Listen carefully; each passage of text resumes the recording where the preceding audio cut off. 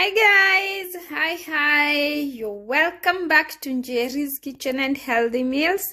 And today we are in the kitchen. We are going to make a very simple, quick, and delicious, healthy recipe of a chicken salad. Yeah. So today we are going to make chicken salad. So good, so healthy. As we continue with this journey of weight loss. So stay tuned guys and let's do this together.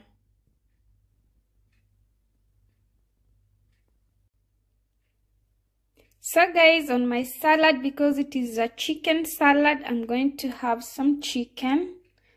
This is a chicken thigh that I grilled in the oven.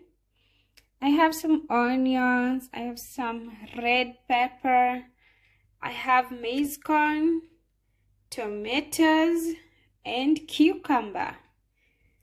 That is what i'm going to use today to make my salad. Very quick simple easy as we are on this journey on weight loss journey. So let's do this guys.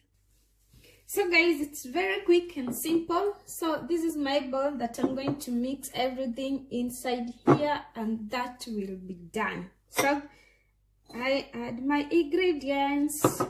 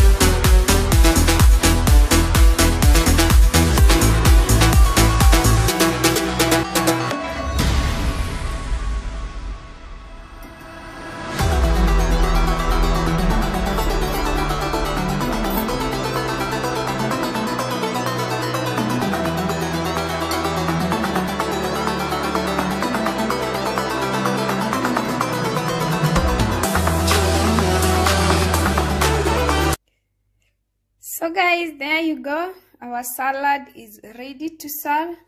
Very quick, simple and easy, delicious and healthy.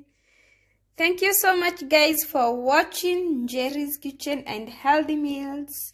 And today we were in the kitchen doing a simple salad recipe. I'll see you later guys. Have a blessed day. God bless you. Bye bye.